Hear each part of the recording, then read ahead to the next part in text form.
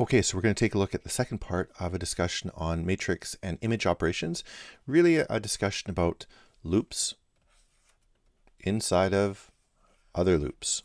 All right, so this is part two of the discussion. If you want to look at uh, more detail about uh, how we do image manipulation and image processing, take a look at the section in the Stormy Attaway textbook on image processing. All right, so matrix operations uh, are really standard kind of things that are done within MATLAB.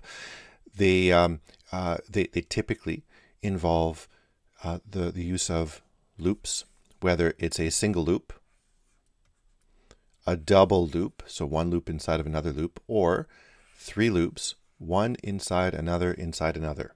All right, so we got a for loop there, inside another for loop there, and then another for loop there an example, as we move towards one loop inside of another loop inside of another loop, it's important to sort of give a, a perspective from the from the uh, uh, sort of general purpose per, uh, direction. And uh, when you're doing linear algebra in uh, in your program, uh, in in the, the learning that you do for your for your engineering degree, it's it's often seen um, that you have to do operations like this um, matrix summations, where you take one matrix, let's say it's matrix A, and you add it to matrix B, and you get an answer matrix C. Matrix A might have, for instance, uh, three rows and two columns. Matrix B would have to have the same. So three rows and two columns. Matrix C, which is the addition of these two, will also have three rows and two columns. It will have the same number of columns as rows as A and B. And you can see it sort of in, in more detailed form here, where we've uh, numbered using subscripts each of the individual elements. So the first subscript right here refers to the row, the second to the column. So this is the first row, first column. This is the first row, second column. This is the first row, last column, because there are m elements in width. Okay, it's uh, like this. It basically means the number of columns that you have. In the second row, we change the first of the subscripts. So this is row 2, column 1, row 2, column 2, row 2, last column. All the way down, etc. That's an etc. right there. That's an etc. there. That's an etc. there. There's another etc. And that's an etc. right there. So we get down to this, we get all the way down here, and this is still the first column, but the last row, the last row is the nth row. So row n, column 1, row n, column 2, row n, column m. Okay, and you'll notice that the last, the very, in the far corner right here, the very last element in B. So this is A, and this is B right here. Here's your addition right here. All right, the last row, last column is referred to as lowercase b subscript nm, whereas the first one is row 1, column 1. So B11, B row 1, row 2. The end result is that you have C11, C12. This right here is C, whoops, C1M. This one over here is CNM. This one right here, whoop, my tablet's slowing down here. This one at this corner right here is going to be CN1. Okay? CN1. This is C right here, this because that's the equal. Okay? That's the result. So that's basically how you add two of them. You take this element right here, add it to that element right there, And result is this. You take this element right here, add it to that element right there,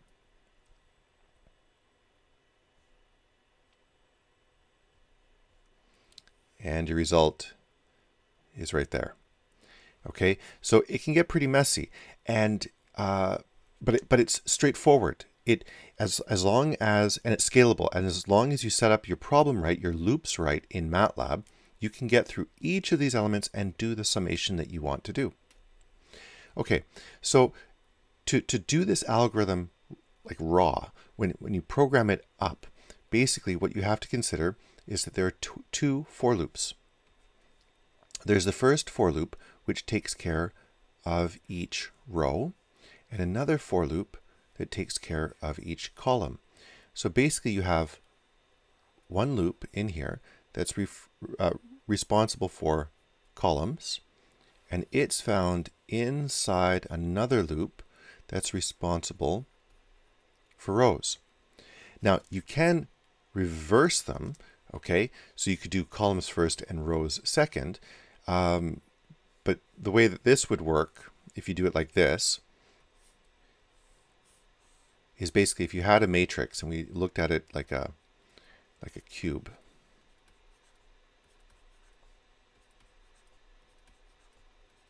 Or square, sorry. Okay, you would have, say in this case, we have, uh, let's see, that's four elements across, three elements down. Let's color code this. Let's go with green for our rows. Okay, and uh, and that means that, oh, and then we're going to do. Let's see what color could we use. We could use blue. Let's use blue for our columns. Okay. like that. All right, so it means that we come into we come into uh, this algorithm fresh, and we're going to start with the first row. So we start, we come in, okay. We come in and we deal with the first row. So that's the first loop. So the first loop is now done in that it's executed its first part, and now we have to deal with all the columns. So we switch over to a blue color. Where's my blue? There it is. And then my inner for loop deals with this element, then that element, then that element, then that element. And now the inner loop is done. And so now what we have to do is we go back to the outer element, or the sorry, the outer loop, like that. And so we're now back to, let's see, we finished here. We go here.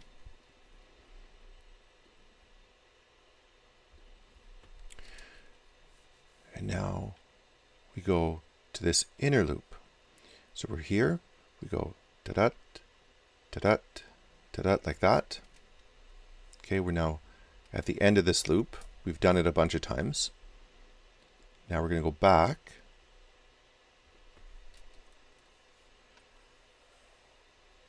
There.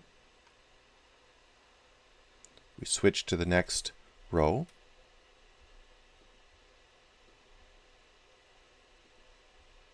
Come on, there we go. We're back in the inner loop and we deal with each of those. And then once we're done,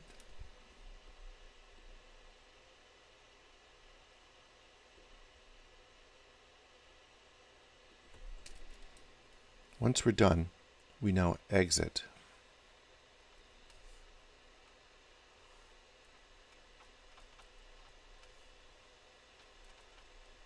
Like that. Stop with a P, like there. Okay? That's basically what's going to happen here. And in order for this to, to work, basically, if you if you code it up in um, in MATLAB, you you have some matrix A and some matrix B, and they are full of numbers, we'll assume that those are defined ahead of time. What we do is we check to see what the number of rows and the number of columns is inside of A, and A has the same size as B, and it will have the same size as C at the very end. We then initialize C to be a matrix of nothing, of basically zeros, okay? And then we have two rows, or sorry, we have two, uh, uh, two, uh, two uh, loops. And the two loops, let's see, the inner loop, the column loop was uh, blue. Okay, so then this, so make sure I get the color scheme right and consistent. So blue is that loop. And green, as I showed before, is the other one. This one right here. Okay, so you have one loop nested inside of the other loop. So the blue loop is nested inside of, so this is the green loop, this is the blue loop, one inside of the other. Okay, so it's nested together. And what we see here is we see the development of each element in C that is based on a particular row and then a particular column. And so what will end up happening is that we will end up having um, these loops work so that you have C11 calculated and then it will be C12. So C row 1, column 2, then C13, C14.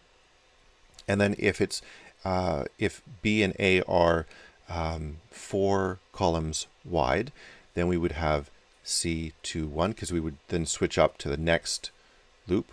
We'd loop it again. Then C21, C22, C23, C24. Then it'd be, say we had three column, uh, three rows. So then it'd be C31, C32, C33, C34. Okay, that's basically the what's going to happen to create the matrix C. All right.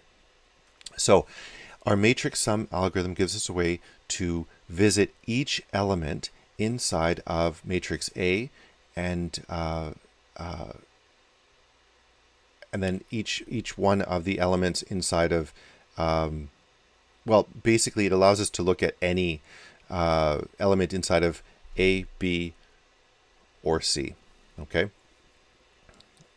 And and so that's that's really important. Okay, that that you can do that within either a creation of a summation or if you wanted to do anything else that would be associated with a two-dimensional